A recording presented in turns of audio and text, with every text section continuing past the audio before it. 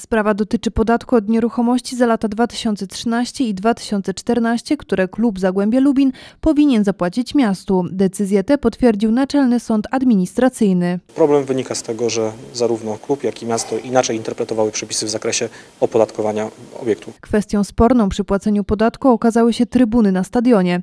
Miasto, obliczając dla klubu stawkę podatku od nieruchomości, wyliczyło 2% wartości podatku od zadaszonych trybun, traktując je jako budowlę. Tymczasem klub KGHM Zagłębie Lubin stał na stanowisku, że trybuny są budynkiem, a nie budowlą i płacił podatek tylko od powierzchni użytkowej. Szkoda tych karnych odsetek tak naprawdę ze strony Zagłębia, dlatego że one wyniosą prawie że półtora miliona. Zagłębie Lubin jest podmiotem zaangażowanym i odpowiedzialnym. My w swoich działaniach nie tylko wspieramy sport na poziomie pierwszej drużyny, my też inwestujemy w młode talenty, w lokalne inicjatywy.